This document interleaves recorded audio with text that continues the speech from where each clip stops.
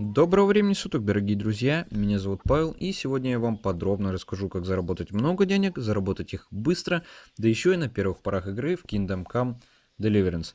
Для начала некоторые нюансы. Первое, это вы должны очнуться в Ратаевской мельнице после двухнедельного коматоза, поговорить с мельником, он накидает вам пару заданий, но это не важно.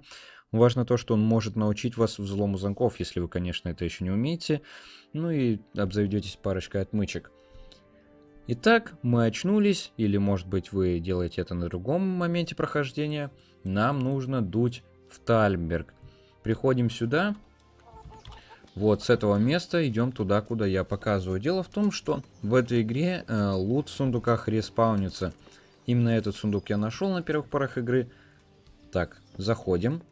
Закрываем дверь, чтобы нас не спалили. И вот этот сундук. У него висит статус «Взлом очень легкий», если вы этого еще не сделали. Я же это сделал, открываем. Ну и быстренько берем все, что здесь есть. Так. Отлично, и выходим. Ну и двери я, пожалуй, закрою.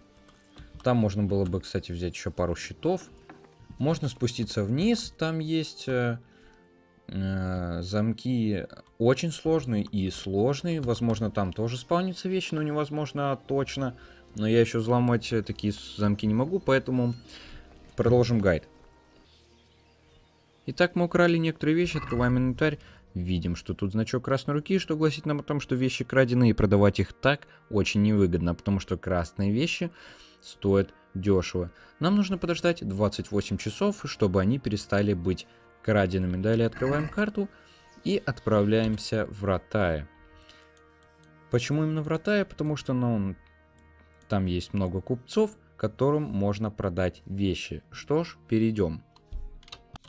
Итак, до оружейника я добрался, открываем инвентарь и видим, что значок краденой вещи пропал с всего того, что я украл. Спешим сообщить о том, что за 28 часов иконка убралась со всего кроме меча бургера. Дело в том, что он дороже стоит, и я недостаточно вкачан. Обратимся к оружейнику. Итак, мы видим, что за эти мечи я могу выручить 140 монет.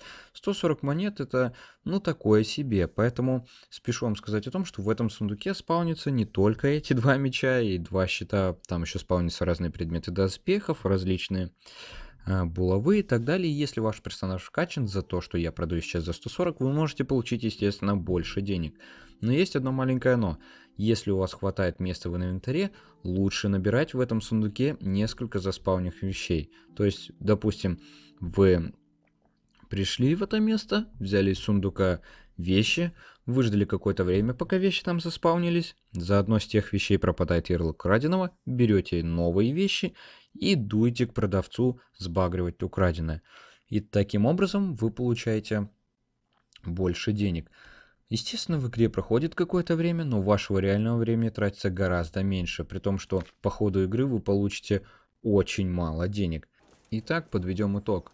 Вы идете в Мальберг, крадете там в сундуке вещи, ждете пока они перестанут быть краденными и продаете их по более-менее выгодной цене. На этом, я думаю, можно закончить. Всем спасибо за просмотр. Я планирую серию новых гайдов по навыкам, по тому, как можно разбогатеть, по боевке. Все это выйдет в ближайшие дни, так сказать. Оцените мое прохождение по Kingdom Come в плейлисте. Всем спасибо за просмотр. Всем пока.